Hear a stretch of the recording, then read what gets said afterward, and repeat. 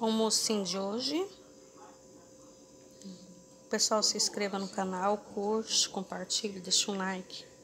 E passa pra frente, que tá só aumentando os inscritos. Bye!